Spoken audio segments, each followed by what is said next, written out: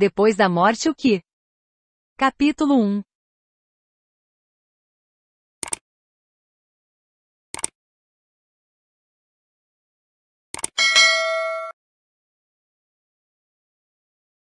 Pensando o impensável.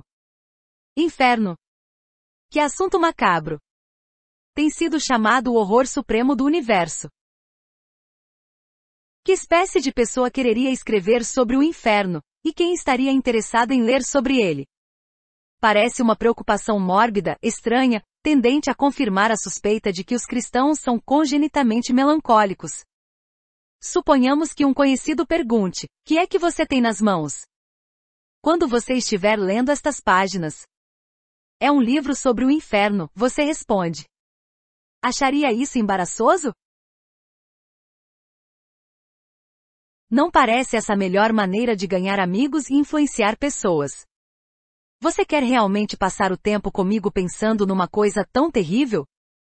Certamente inferno é um tópico desagradável, e é natural que relutemos em considerá-lo. Tantas outras verdades das Escrituras são intensamente atraentes.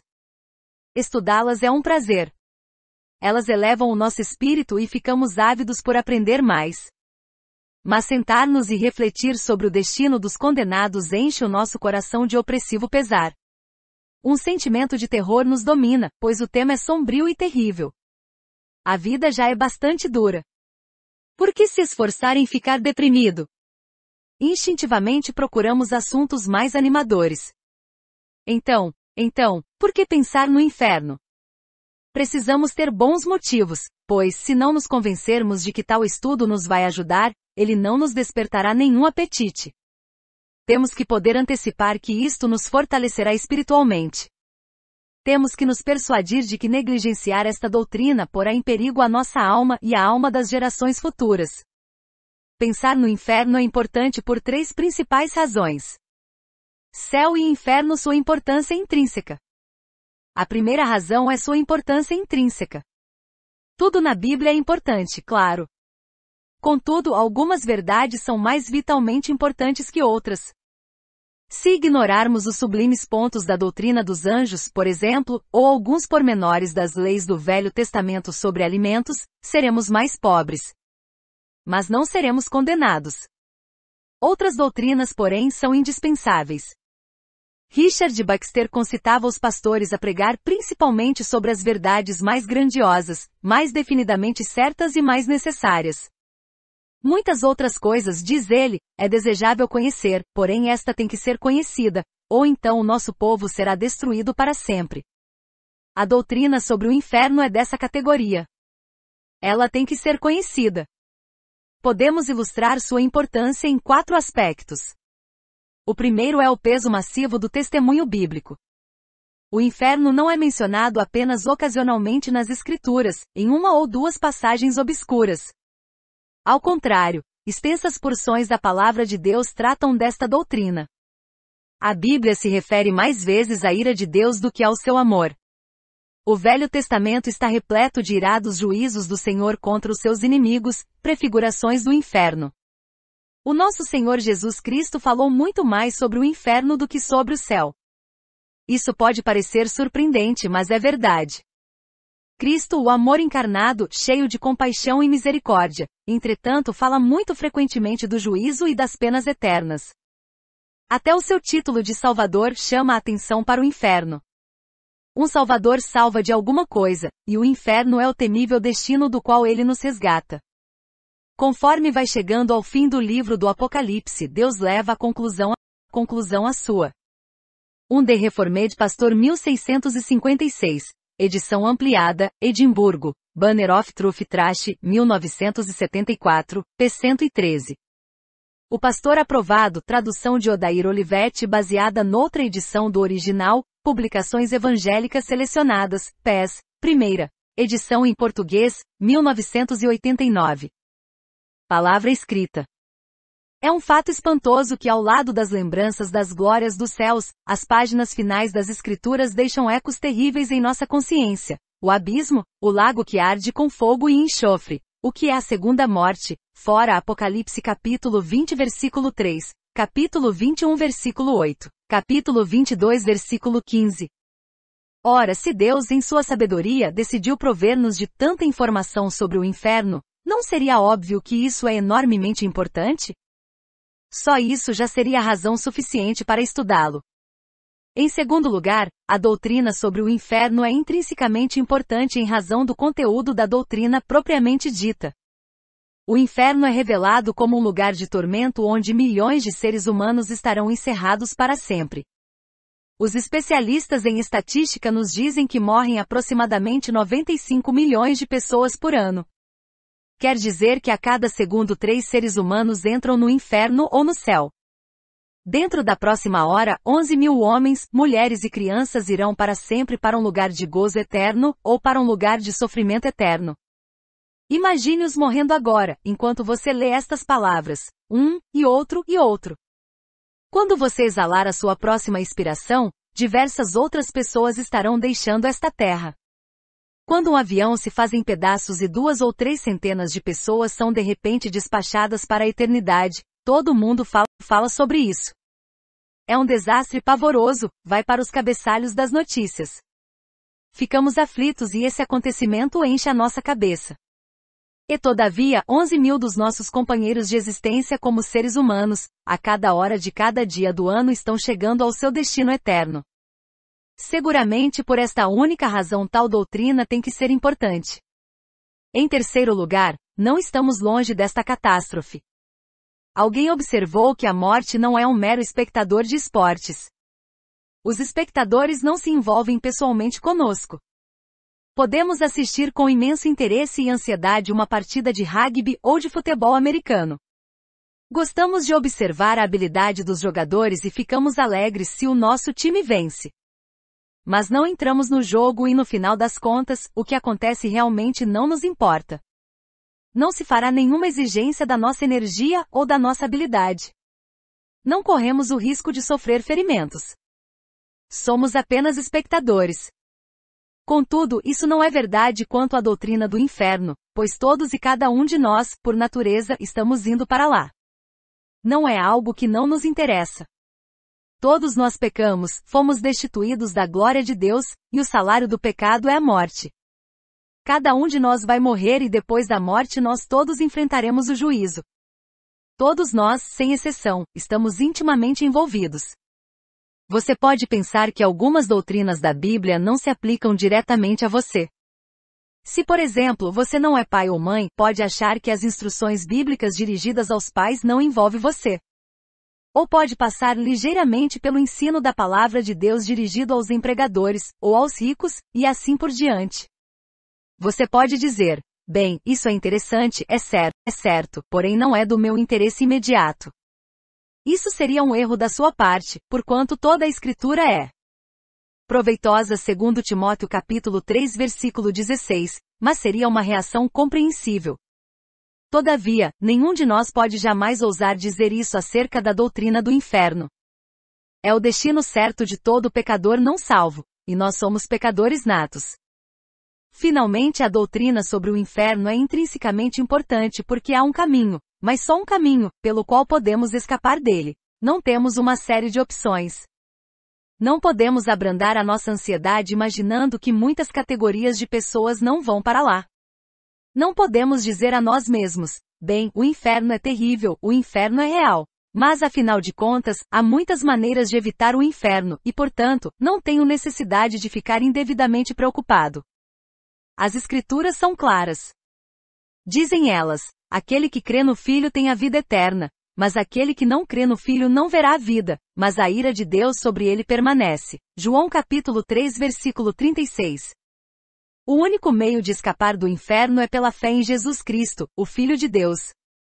Todos os demais estarão perdidos. Por que pensar no inferno? Porque vamos para lá, a não ser que sigamos o único e exclusivo caminho de fuga. E há um caminho, o inferno não é inevitável. Se fosse, se não houvesse prospecto de salvamento, que adiantaria incomodar-nos com ele? A atitude mais sensata seria expulsá-lo da nossa mente para tão longe quanto possível. Mas, devido a haver uma segura e certa promessa de socorro para todos quantos queiram ser libertados da condenação de Deus, nada é mais crucial do que dar a este assunto a mais completa atenção. A Bíblia mostra com abundante clareza o caminho da salvação, porque Deus amou o mundo de tal maneira que deu o seu Filho unigênito, para que todo aquele que nele crê não pereça, mas tenha vida eterna. João capítulo 3 versículo 16. Aí está, pois, a nossa resposta àqueles que nos acusam dizendo que somos mórbidos e melancólicos. Fariam eles a mesma acusação contra uma conferência de médicos reunidos para discutir o câncer? Acusá-los-iam de serem indivíduos distorcidamente inclinados a interessar-se morbidamente por algo desagradável? Claro que não. Somos agradecidos ao fato dos médicos darem atenção a estas coisas, dedicarem sua capacidade e seu discernimento ao trato de realidades tão terríveis. Seu propósito é levar saúde e cura a muitos, e nós nos dispomos a animá-los a tal empreendimento. Longe de criticá-los, apreciamos o fato de que eles estudam esta ou aquela doença, não porque gostem de fazê-lo, e sim porque é um horrível fato que precisa ser encarado. Mas o inferno é uma realidade muito mais terrível e muito mais permanente. A coisa mais positiva, mais desejável e de maior responsabilidade que podemos fazer é estudar essa doutrina para equipar-nos melhor para livrar outros de um lugar tão indescritivelmente horrível. O predomínio da incredulidade. A segunda, a segunda razão para estudar o inferno é a presença generalizada da incredulidade concernente a ele. Se fosse algo aceito universalmente, se a maioria das pessoas acreditasse no inferno e estivesse acuradamente informada sobre ele, talvez não precisássemos tomar tanto tempo em seu estudo. Mas em nossa geração, a crença no inferno quase desapareceu. Podemos distinguir três níveis de incredulidade. Há primeiramente e antes de tudo, a zombaria popular. Há alguns anos eu e minha esposa assistimos a um concerto numa escola local, onde as crianças apresentaram esquetes e pequenas peças. Foi uma noite agradável, até que, para nosso assombro, algumas crianças apareceram em cena vestidas de diabos, com chifres e caudas de papel dando voltas no palco. Elas cantaram uma canção sobre o inferno, no qual as pessoas se retorciam e frigiam. As pessoas presentes riam às gargalhadas, enquanto nós ficamos ali sentados, confrangidos. Dentro de nós, as palavras de Cristo foram quase audíveis aos nossos ouvidos. Qualquer que escandalizar um destes pequeninos, melhor lhe fosse que se lhe pendurasse ao pescoço uma mó de azenha, e se submergisse na profundeza do mar. Mateus capítulo 18 versículo 6. Para muitos, o inferno é uma piada. Ou, na melhor das hipóteses, é um truque de propaganda. Em nossos jornais e em nossas telas de televisão os condenados são aqueles que têm que passar sem o produto que está sendo anunciado. O céu é comer a barra de chocolate, usar o perfume, dirigir um carro novo. Numa recente viagem na América paramos num centro de atenção a visitantes, onde pegamos um folheto de propaganda de um restaurante instalado num edifício que anteriormente era uma igreja. Isso dera aos novos proprietários uma ideia. O folheto começava: Quanto à comida, é tão celestial que só pode ser um pecado. O nosso cozinheiro-chefe usa os ingredientes mais puros disponíveis para produzir uma culinária que enche a alma de satisfação. Assim como, como Eva tentou Adão, vamos tentar você com as criações para a sobremesa de hoje. Imagine o diabólico êxtase do chocolate, etc. E terminava, bom desfrute e que Deus o abençoe. Não há necessidade de apresentar mais exemplos destas blasfêmias. O inferno é visto como tema humorístico, e os que realmente acreditam nele são objetos de riso ou são evitados, ou, de preferência ambas as coisas. É matéria de zombaria popular. Em segundo lugar, a crença no inferno é rejeitada por aqueles que lhe dedicam sério pensamento. Pois, no meio da fútil ostentação e da frivolidade da cultura popular, Muitos são os que pensam seriamente. Os que estão sem Cristo estão espiritualmente mortos, eles odeiam Deus, estão cegos, e os seus processos mentais são distorcidos. Tudo isso é verdade. Mas entre eles há homens e mulheres donos de grande saber, capazes de pensar e que refletem profundamente sobre questões importantes. Para eles, a ideia de inferno é repulsiva, e eles se sentem ofendidos por ela. Consideram-na uma superstição primitiva, algo fantasmagórico usado por uma igreja tirânica para aterrorizar e manipular os seus crédulos adeptos. O filósofo Bertrand Russell escreveu: Não creio que qualquer pessoa que seja de fato profundamente humana possa crer nas penas eternas. É uma doutrina que pôs crueldade, crueldade no mundo e que deu ao mundo gerações de tortura cruel. Muitos daqueles entre os quais vivemos e trabalhamos nos desprezarão por acreditarmos no inferno. Para onde quer que nos voltemos no mundo moderno, estamos cercados de pessoas inteligentes que consideram tal crença desprezível ou iníqua. Mais adiante veremos por que elas pensam dessa maneira. Mas nós precisamos dar-nos conta de como este ensino sofre objeção. Em terceiro lugar, e muito trágica e surpreendentemente, esta doutrina está sendo questionada por alguns evangélicos três que declaram crer na Bíblia como a palavra de Deus inspirada.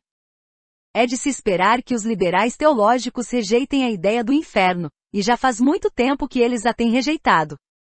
Mas muitos evangélicos proeminentes agora se põem a desafiar uma doutrina que durante mais de 19, 19 séculos tem sido artigo de fé unânime da igreja cristã. Eles estão abandonando a ortodoxia e aderindo ao ensino do extincionismo ou da imortalidade condicional, uma afirmação de que só os justos viverão para sempre e de que, em algum estágio, Deus permitirá que os ímpios impenitentes passem ao nada.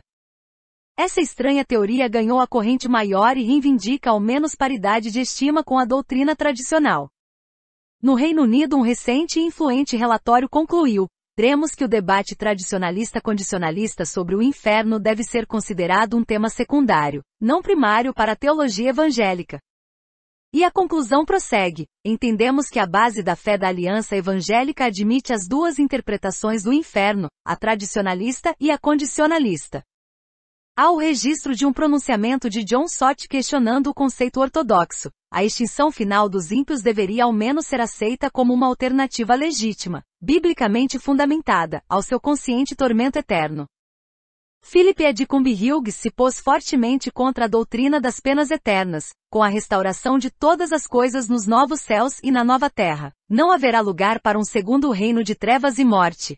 Quando Cristo encher todas as coisas, como se pode conceber que possa haver um segmento ou uma esfera da criação que não pertença a essa plenitude e que por sua só presença contradiga?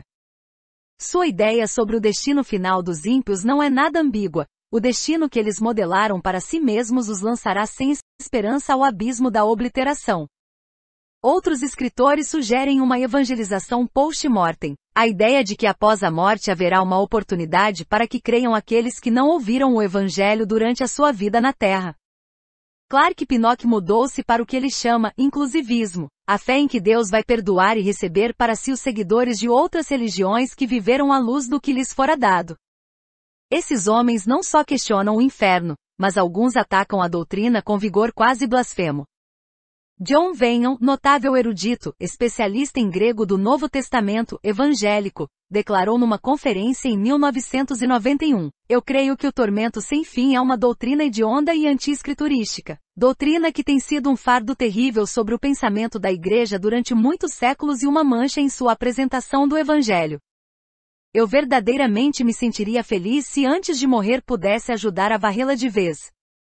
Clark Pinnock vai mais longe, considera o conceito de inferno como tormento interminável do corpo e da mente uma doutrina ultrajante, uma atrocidade moral e teológica.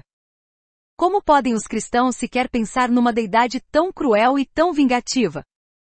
Certamente um Deus que fizesse tal coisa seria mais parecido com Satanás do que com Deus. Para esses homens o tormento eterno é moralmente intolerável. Apresenta Deus como um monstro, punindo suas pobres vítimas com sofrimento sem fim. Em face de tanto questionamento e de tanta incredulidade, seria fácil eliminar o povo do Senhor. Seu povo poderia ser tentado a pensar, bem, estes homens são inteligentes, são grandes eruditos, são líderes eminentes na igreja, e o inferno é uma doutrina desagradável. E não seria possível que eles estejam certos? Talvez lhes tenha vindo uma nova luz, e nós deveríamos seguir a sua liderança.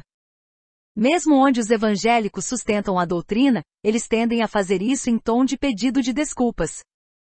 Será verdadeira, verdadeira a história do pregador que advertiu os seus ouvintes dizendo: aqueles que não forem convertidos a Cristo sofrerão graves ramificações escatológicas. Fatual ou não, ela representa em resumo o acanhamento de muita pregação contemporânea. Os modernos livros de teologia evangélica dedicam poucas páginas à doutrina sobre o inferno. Ela é negada, diluída ou tratada como um embaraçador segredo de família, não devendo ser mencionada em público. Por que deveríamos pensar a respeito do inferno? Porque a doutrina sobre ele é muito importante.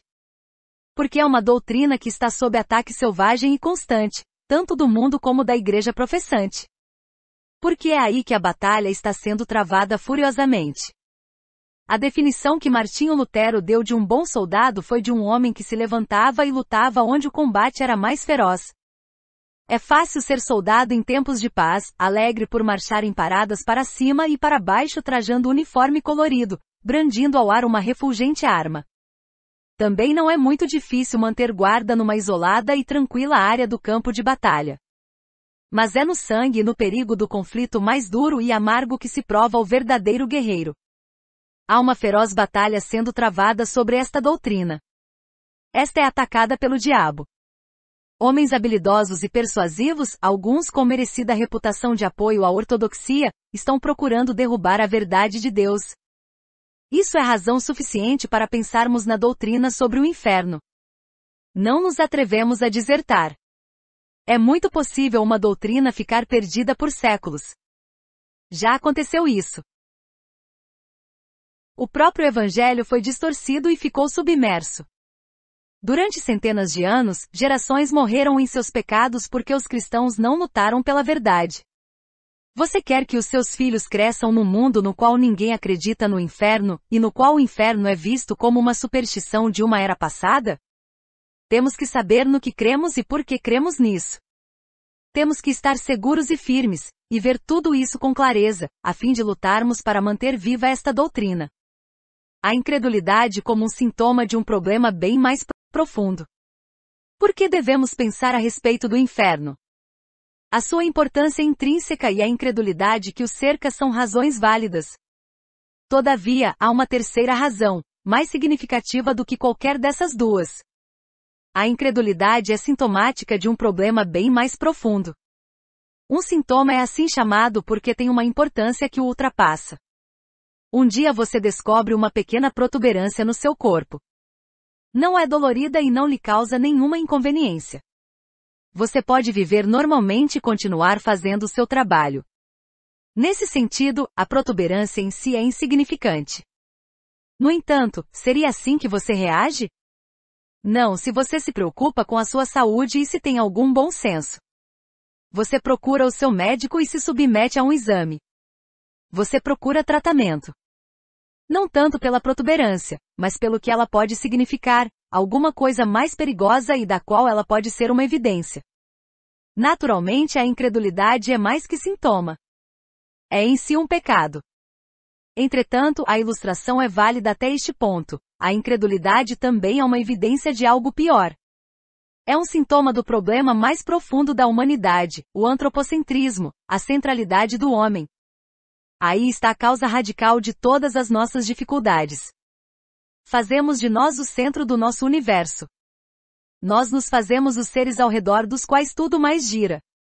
Tudo isso vai de volta ao Éden, onde Satanás disse a Eva, sereis como Deus, Gênesis capítulo 3 versículo 5, e ela lhe deu ouvidos. Na verdade, vai além disso. O próprio Satanás tinha dito, sereis semelhante ao Altíssimo, Isaías capítulo 14 versículo 14. Esse pecado do antropocentrismo, ou do humanismo, pois esse é outro nome para, para isso, tem estado presente no mundo desde a queda mas em nossos dias veio a dominar a cultura ao ponto de saturar o mundo em que vivemos. A centralidade do homem é tão penetrante e tão imperceptível como o ar que respiramos. Não há ninguém que não seja afetado por ela. Como a poluição da atmosfera, aí está ela, e nós a absorvemos, e ela nos está envenenando. A centralidade do homem está na raiz das objeções à crença no inferno, as objeções evangélicas inclusive, Dizem-nos os inovadores que as suas mudanças de ideias são devidas a seu maior entendimento. Eles se aprofundaram no sentido das palavras originais, examinaram os antecedentes à luz de novos conhecimentos. Suas habilidades exegéticas são mais precisas do que as das gerações passadas. O resultado é que estes métodos de interpretação mais acurados os levaram inevitavelmente a pôr em questão a doutrina tradicional sobre o inferno. Eles podem acreditar que é esse o caso, porém não é verdade. Não foi uma abordagem interpretativa melhorada que mudou o pensamento deles. Foi o espírito do mundo.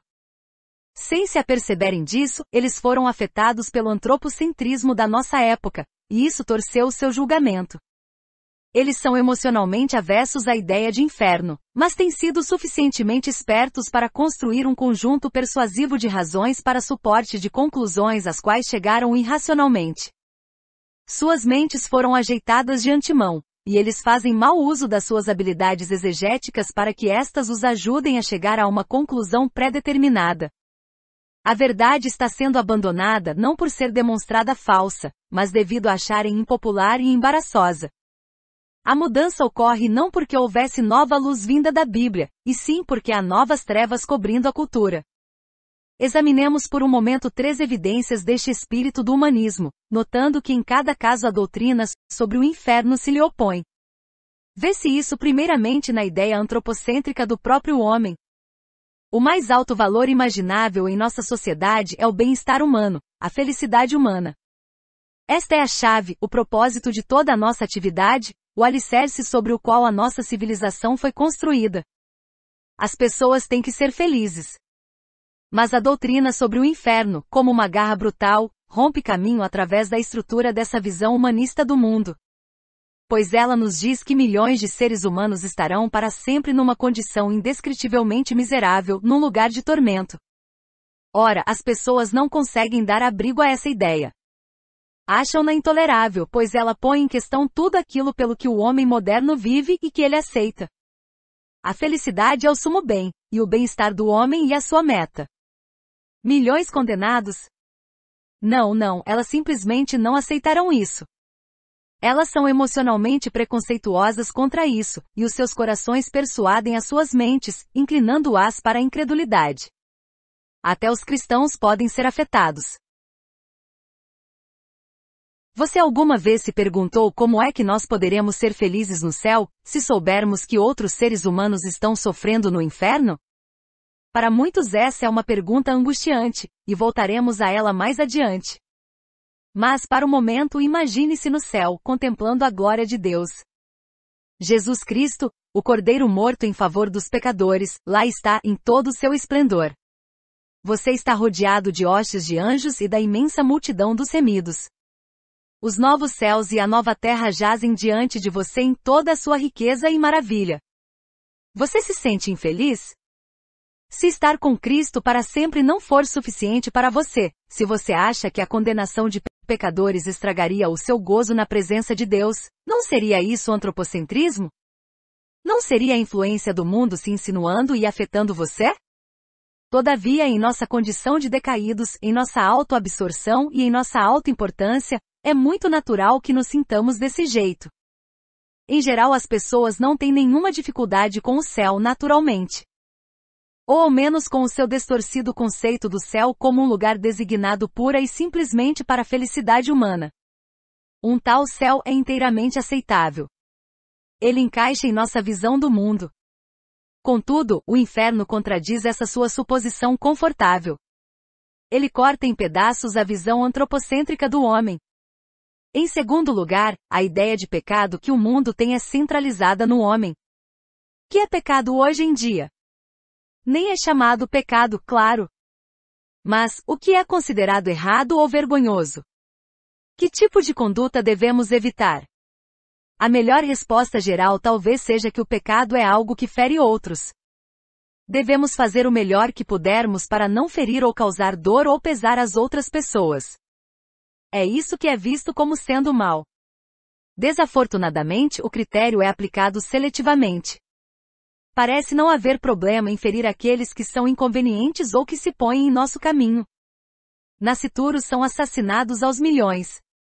A nossa sociedade civilizada não se importa em passar a tesoura nos pescoços de bebês no ventre, extrair seu cérebro e esmagar seus, seus crânios. E se a presente tendência continuar, não se importará em eliminar os inválidos ou de pôr para dormir os mais velhos, quando cuidar deles ficar muito caro. Estamos avançando rumo ao mundo de horror, a menos que Deus, em sua misericórdia, traga para si as nossas nações. Contudo, embora incoerentemente as pessoas decentes em geral defendem a ideia de que não devemos ferir os outros. Não devemos mentir, nem explorar o próximo, nem usar violência. Não se deve abusar das crianças. Não se deve quebrar promessas. Tais pessoas concordam com o sexto e o oitavo mandamentos: não matarás. Não furtarás e embora num grau rapidamente decrescente com o sétimo, não adulterarás. Envergonham-se de praticar tais coisas ou, em todo caso, de serem surpreendidas praticando-as. Estes mandamentos parecem regras prudentes para a sociedade. As pessoas sabem que o mundo seria um lugar muito melhor se esses males fossem banidos, e frequentemente se inquietam em sua consciência se causam dor ou dano a outros. Tente, porém, falar-lhes sobre o segundo, o terceiro e o quarto mandamentos, não adorar a Deus de nenhuma outra maneira que não há determinada por ele em sua palavra, não tomar o nome de Deus em vão, santificar o dia semanal de descanso. Esses são considerados ridículos. Se num dia do Senhor, domingo, você fosse bastante destituído de tato para abordar o seu vizinho, e o mais bondosamente possível, dizer-lhe que não deve fazer concertos em sua casa, ou que a mulher não vá ao seu encontro social, porque essas coisas não se harmonizam com a santa observância do descanso semanal. Como responderiam eles? Tanto se zangariam como julgariam você um louco. Que tipo de religioso excêntrico você é? Eles retorquiriam. Que mal estou fazendo? A quem estou ferindo? Por que a diferença? Por que as pessoas aceitam alguns mandamentos como válidos enquanto rejeitam outros? porque elas têm uma ideia do pecado centralizada no homem. Ferir as pessoas é pecado, e elas sabem que não devem fazer isso. Mas não se apercebem de que é pecado ser ou estar contra Deus. Os mandamentos que parecem não ter nenhuma relação com o bem-estar humano não fazem impacto algum em sua consciência. Deus simplesmente não importa. No que se refere à culpa e ao mau procedimento, pode-se deixar Deus fora de consideração mas o inferno despedaça essa fachada. O inferno nos diz que há um Deus santo e temível, a cujos olhos somos terrivelmente culpados. Esta doutrina nos informa que o pecado é tão grave, tão condenável aos olhos de Deus, que precisa ser punido por uma eternidade de sofrimento. Ela eleva a prática humana do mal a um plano inteiramente diferente e a coloca no contexto da necessidade de prestação de contas, do juízo e das consequências eternas. Primeiramente e antes de tudo, o pecado não é ferir os nossos semelhantes. O pecado é a transgressão da lei 1 João capítulo 3 versículo 4, ara, e a lei transgredida é de Deus. As pessoas não querem ouvir falar do inferno porque ele lhes diz que o pecado é mais grave e mais terrível do que elas jamais quiseram imaginar.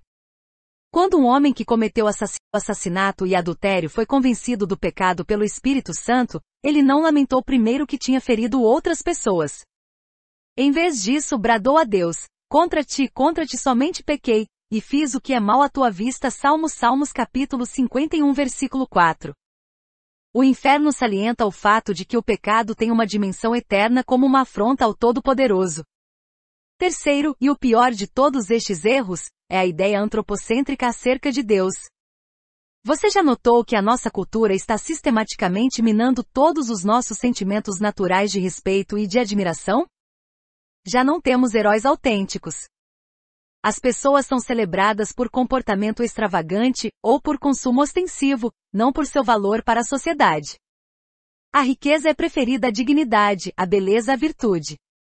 Personalidades existem muitas, mas poucas dão evidência de caráter. A pureza é escarnecida. Prevalece uma atitude cínica, a crença em que ninguém é nobre ou altruísta. A imprensa da sarjeta esquadrinha os segredos sujos das pessoas famosas para deleite dos seus leitores. Biógrafos caçadores de escândalos rasgam de alto a baixo a reputação daqueles sobre quem eles escrevem. Ninguém que vale a pena nos é exposto, ninguém que nos desafia ao sacrifício próprio ou a esforços de alto nível. Todo mundo é arrastado para a sarjeta moral com o risinho de quem sabe. Ao que parece, os heróis não são populares. Por quê? Por que essa loucura de reduzir tudo ao mais baixo denominador comum? A razão é, porque o povo odeia o herói, o ser supremo. O mundo tem medo de pensar que a bondade e a santidade levantam-se para julgá-lo. O Deus de que o povo fala se é que ele existe, é só para benefício do homem. Seu propósito, parece, é suprir nossas necessidades, providenciar a nossa felicidade. Deus é um criado do hotel celestial. Quando você precisa dele, toca a campainha, e quando não pre precisa, diz-lhe que se vá. Reescreveram a primeira resposta do breve catecismo, que passa a dizer: o fim principal de Deus é satisfazer ao homem e provê-lo para sempre. Até em igrejas evangélicas a impressão dada é que Deus existe para fazer-nos felizes, para resolver os nossos problemas, para responder às nossas orações, para curar as nossas enfermidades, para melhorar o nosso casamento, para ajudar-nos a manter uma dieta. Lutero descreveu isso como usar Deus. Que expressão repulsivamente acurada. Você já foi usado alguma vez? Você pensava que certa pessoa era seu amigo. Supunha que ele gostava da sua companhia e que avaliava você pelo que você é. Você confiava nele, mas depois viu que ele o estavam usando. Ele cultivava sua amizade só pelo que queria de você, e então ria de você por trás. Que é que você pensaria de um homem que falasse que usava sua própria esposa? Que crápula ele seria? Todavia, é exatamente isso que as pessoas estão tentando fazer com Deus. É desse jeito que elas pensam que podem tratar o Senhor dos céus e da terra.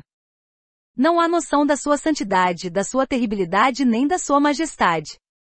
Ele é visto como um boneco de mola que fica numa caixa até pressionarmos o botão para fazê-lo sair. Mas a doutrina do inferno nos confronta com um Deus que é invencível em sua ira, irresistível em seu poder, terrificante em sua justiça. Um poderoso soberano que segura a terra entre seus dedos como se fosse uma pitada de pó.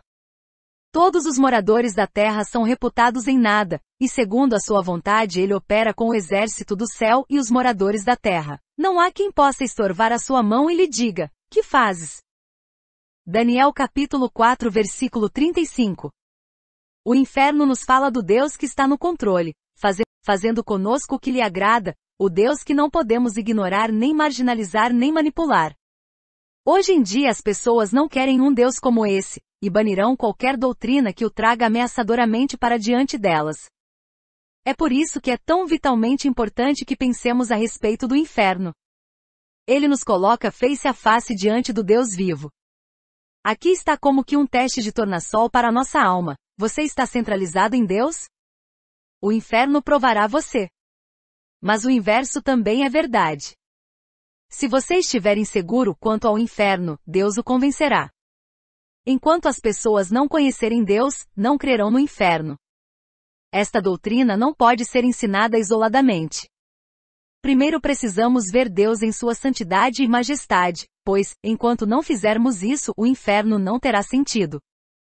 Não podemos captá-lo. É por isso que as igrejas que honram Deus e os cristãos que temem Deus têm um ministério tão vital. Quem mais falará do grande e todo-poderoso Senhor? No entanto, uma vez que tenhamos sido confrontados pelo Deus verdadeiro, uma vez que eu e você tenhamos contemplado o rosto desse ser majestoso, então sim estaremos prontos para crer em tudo que Deus diz. Os que duvidam podem levantar suas tolas objeções e apresentar os seus pueris questionamentos, mas o problema básico deles é que eles nunca viram Deus como ele é, ou por algum tempo o perderam de vista. No dia do juízo ninguém vai rir ou produzir seus petulantes folhetos sobre o céu e o inferno. Ninguém irá questionar a moralidade das penas eternas. Nenhum pregador de mente aberta irá insistir, não creio que um Deus de amor mande alguém para o inferno. Todos nós estaremos prontos a cair sobre o nosso rosto, dominados pela intensa realidade do Deus vivo. Por que devemos pensar acerca do inferno? Porque ele nos faz lembrar a nossa insignificância porque ele indica de maneira impressionante a terribilidade do pecado. Porque ele nos coloca face a face diante da presença irresistivelmente dominadora de Deus. É por isso que o diabo tem atacado tão persistentemente esta doutrina. Talvez alguns de vocês ainda precisem encontrar-se com Deus. Deus. Deem meia volta eu insto com vocês, e encarem a realidade do Deus que os criou e contra quem vocês têm pecado, o Deus a quem vocês terão que prestar contas, o Deus que certamente os condenará, se vocês não clamarem a Ele por misericórdia, o Deus que também tão certamente salvará todos os que creem em seu Filho. Outros de nós, embora crentes, talvez tenhamos sido influenciados mais do que percebemos pelo pensamento do mundo. A nossa visão de Deus foi ficando opaca e a nossa fé tornou-se muito egocêntrica. Que é que há nisso que me sirva? Somos propensos a perguntar. Que dizer dos meus desejos? Onde os verei cumpridos? Mais do que qualquer outra coisa, precisamos aperceber-nos novamente do nosso Deus em sua santidade e em sua glória. Queira ele usar esta doutrina para trazer estas realidades para diante de nós. E alguns de vocês vivem numa tristeza mais profunda que as lágrimas por seus entes queridos que partiram desta terra e que até onde vocês podem saber, não se interessaram por Cristo. Eles eram osso dos seus ossos, carne da sua carne. Vocês os amavam, estavam certos em amá-los, e pensarem que eles estão perdidos causa insuportável dor. Não posso consolar vocês, porém posso dirigi-los a Deus. Se vocês forem à sua presença com as suas perguntas e com a sua angústia, ele porá seus braços paternais em torno de vocês. Pode ser que não lhes sejam dadas respostas, mas vocês conhecerão o Deus de amor, que não pode ferir nenhum dos seus filhos e cujos caminhos são absolutamente justos, e o coração de vocês se encherá de paz. Lembrem-se das palavras dos remidos no céu, palavras que um dia vocês tomarão como de vocês mesmos. Graças te damos, Senhor Deus Todo-Poderoso, que tomaste o teu grande poder e reinaste. E iraram-se as nações, e veio a tua ira, e o tempo dos mortos, para que sejam julgados. Grandes e maravilhosas são tuas obras, Senhor Deus Todo-Poderoso. Justos e verdadeiros são os teus caminhos, ó Rei dos Santos. Quem te não temerá, ó Senhor, e não magnificará o teu nome? Porque só tu és santo, porque os teus juízos são manifestos, Apocalipse capítulo 11 versículo 17 e 18, capítulo 15 versículo 3 e 4. Esta é a única resposta, ver Deus. Bem-aventurados os que choram, porque eles serão consolados. Bem-aventurados os limpos de coração, porque eles verão a Deus.